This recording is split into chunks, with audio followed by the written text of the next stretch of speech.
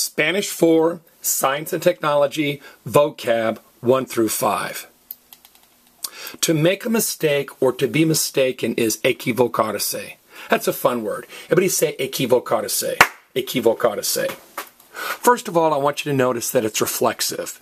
So I made a mistake isn't yo equivoqué, it's yo me equivoqué. Now, how are we going to remember that?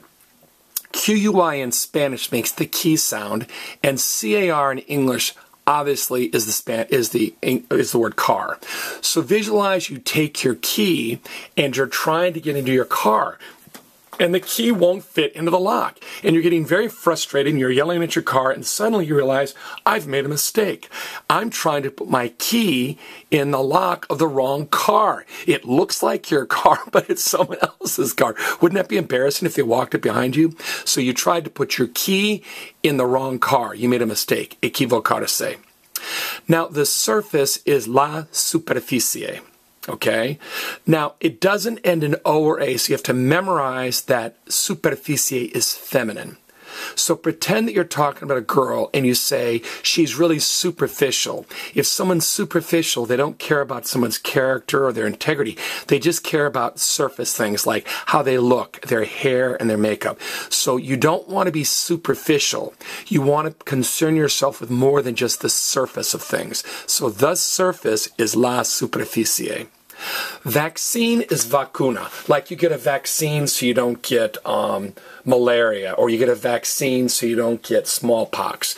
Now, it has four of the same letters in both languages V A C N, V A C N. And see the word una means a or one. I need a vaccine against malaria, or I need a I need one more vaccine. Vaccine, vacuna. The hypothesis is la hipótesis. Notice it doesn't end in O or A, so you have to memorize that it's female.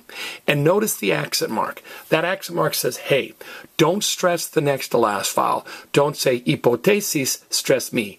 Hipótesis. Also notice that the letter Y in English turns into I. You see that a lot in Spanish. Um, day in English turns into dia. My turns into me. Um, Mary turns into Maria.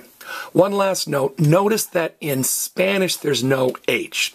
In Spanish, H's are silent. So a lot of times, if there's an H in English word, they just drop it off of the Spanish word. Now, device is dispositivo. Like you're an inventor and you invent a little device, a little machine, a little thing that does wonderful things. And you say to your business partner, this device is going to have a positive impact on the world. Get it? This device is going to have a positive impact on the world. So dispositivo is device, like a little machine or something. All right, let's do our post quiz. I'm going to cover up the Spanish, take a moment or two, look at these English words and phrases, and say the Spanish equivalents out loud, or even better, write them down. This has been Spanish 4 Science and Technology, Vocab 1 through 5.